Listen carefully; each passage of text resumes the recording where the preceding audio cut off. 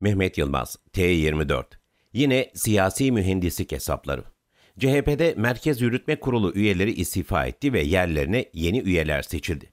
Seçildi dediysem lafın gelişi. Seçilen filan yok. CHP'nin genel başkanı uygun gördüğü isimleri MYK'ya tayin etti. Bu arada kendi görevlerini arttırmayı da ihmal etmedi. Artık teşkilatlardan da kendisi sorumlu olacak. Böylece anlıyoruz ki kaybedilen seçimin sorumlusu eski MYK'ymış. Şimdi yerlerine yenileri tayin edildi. CHP yerel seçimlere böyle gidecek. Genel başkanın teşkilatları kendisine bağlamasının nedeni de belli. Kurultay yerel seçimlerden sonraya bırakılacak. O güne kadar parti örgütünde yaramazlık yapmaya kalkışan olursa cezası çabuk kesilecek. Yani Kılıçdaroğlu'nun sözünün üzerine söz söylemek o kadar da kolay olmayacak. Bu gelişmelerin ardından Kılıçdaroğlu Sözcü TV'de İpek Özbey'e şunu söyledi. Yeni MYK'yı toplumun yenileme talebini dikkate alarak yaptım. Kılıçdaroğlu Özbey ile konuşmasında yeni hükümetle ilgili görüşlerini de açıkladı. Erdoğan ne derse onu yapacak kişiler olarak görüyorum. Özbey'e söylediği bu iki cümleyi alt alta okuduğumda ister istemez bir kahkaha attım. Gülmesem daha iyi olurdu belki ama artık komediyi de geçtik. Bu iş bir farsa dönüştü. Çünkü yeni tayin ettiği MYK'da tam anlamıyla böyle bir MYK. Kılıçdaroğlu ne derse onu yapacak kişiler. Memlekette demokrasi getirmek vaadiyle karşımıza çıkan partinin kendi içinde demokrasiyi kuramadığı bir durum var.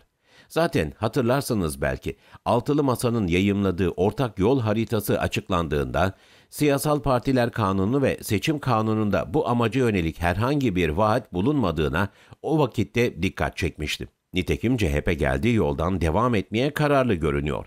Bugünden bunu söylemek falcılık diye nitelenebilir belki ama Kemal Kılıçdaroğlu'nun yapmak istediği şey çok açık. Yerel seçimlerden sonra yapılacak kurultayda genel başkanlığı bıraksa bile partiyi bırakmamak. Bir tür siyaset mühendisliği peşinde belli ki.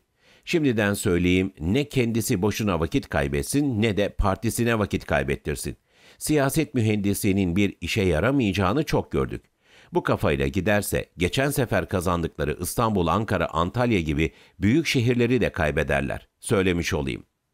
Gerçek bir dönüşüm istiyorsa. Nedendir bilmem ama halkımızın çoğu CHP'yi solda bir parti olarak görüyor. Ben de bunun nasıl olabildiğini merak ediyorum.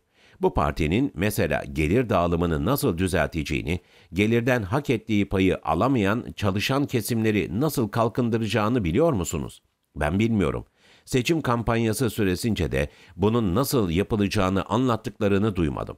Kılıçdaroğlu'nun arada bir mutfağa bir sandalye atıp şuna bu kadar zam, buna bu kadar zam dediğini duydum elbette ama gelir dağılımındaki adaletsizliğin düzeltilebilmesi çok kapsamlı ve çok yönlü politikaların birlikte uygulanmasıyla mümkün olabilir. Bugün maaşlara, ücretlere yapılı verecek şu kadar zamla çözülmez, çok da uzun vadeli bir iştir. Seçimden önce çok yazmıştım. Ben ekonomiyi daha iyi yönetirim bir siyasal vaat değildir diye.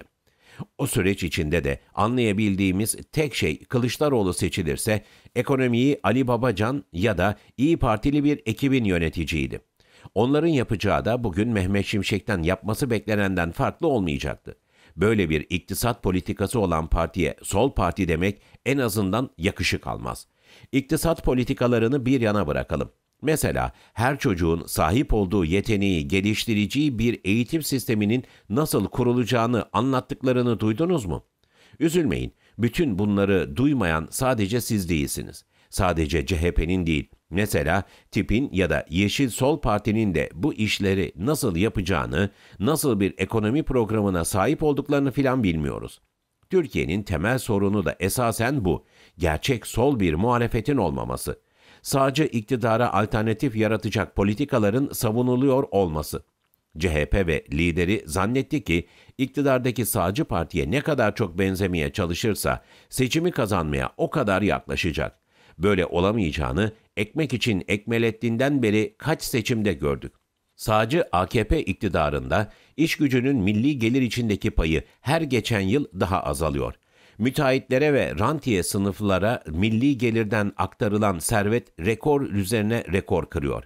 Başı örtülü işçi ile başı açık işçi kadının dertleri aynı. Cuma'ya giden esnafın sorunu, akşamüstü iki tek atan esnafın sorunundan farklı değil. Namazını kaçırmayan emekliyle camiye cenazeden cenazeye giden emekli aynı şeyi yaşıyor. Laikliği savunmak, insanların inançlarına müdahale etmek anlamına gelmiyor.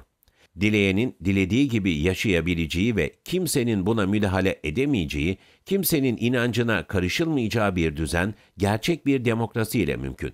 CHP gelecekte gerçek bir iktidar alternatifi olmak istiyorsa bunu Baykalcı hastalıklarından kurtulmadan yapamaz. Onun içinde Kılıçdaroğlu gerçekten bir dönüşümün önünü açmak istiyorsa önce Baykalcı tüzük numaralarını bir kenara bırakarak ilk adımı atmalı. Abone olmayı ve bildirimleri açmayı unutmayın.